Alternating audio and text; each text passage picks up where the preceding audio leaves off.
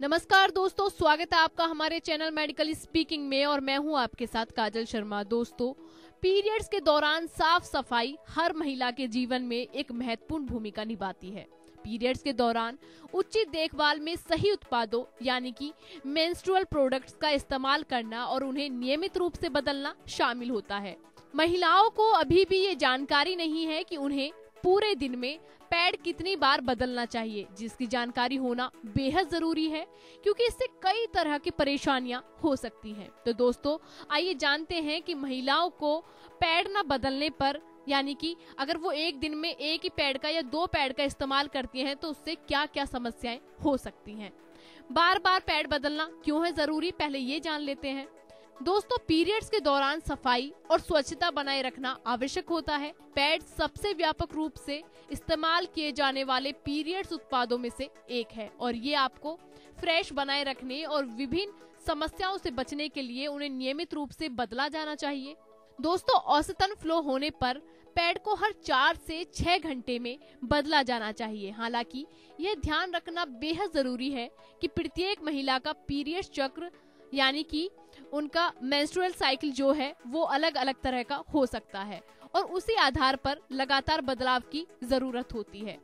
दोस्तों, इसके अलावा पैड नहीं बदलने पर क्या क्या समस्या हो सकती है? आइए वो जानते हैं। दोस्तों पैड न बदलने की वजह से महिलाओं को असुविधा, गंध और संक्रमण सहित कई समस्याएँ हो सकती हैं। एक ही पैड को घंटों तक यूज़ करने से उसमें नमी हो सकती है और बैक्टीरिया बढ़ने का खतरा भी बढ़ सकता है, जिससे मूत्र पथ के संक्रमण, यानी कि यूटीआई और बैक्टीरियल वेजिनोसिस जैसे संक्रमणों का खतरा भी बढ़ सकता है। दोस्तों, पीरियड्स के दौरान निकलने वाले रक्त और नमी के लंबे समय तक संपर्क में रहने से त्वचा में जलन और चक्कते भी हो सकते हैं। इसके अलावा बहुत ज़्यादा देर तक एक ही पैड यूज़ करने से चेफिंग जैसी दिक्कतें हो सकती हैं। इस सिचुएशन में दोस्तों आराम की स्थिति बनाए रखने और त्वचा से संबंधित समस्याओं को रोकने के लिए नियमित रूप से पैड को बदलना बेहद ज़रूरी हो जाता है।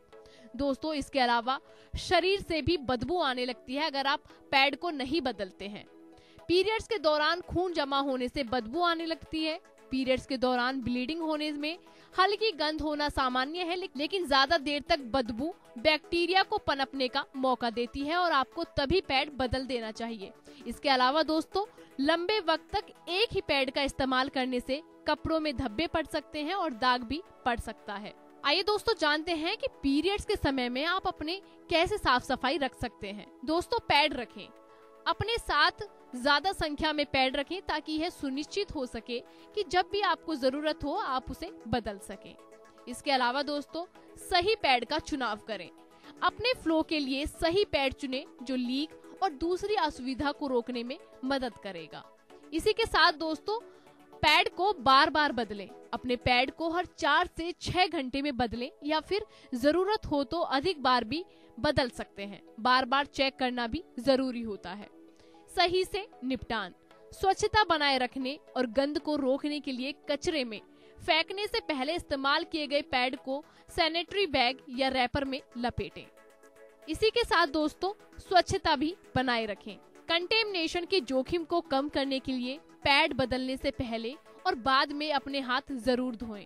दोस्तों, कैसी लगी आपको हमारी ये हेल्दी टिप्स ऐसी ही और जानकारी के लिए बने रहें हमारे चैनल मेडिकल स्पीकिंग के साथ। धन्यवाद।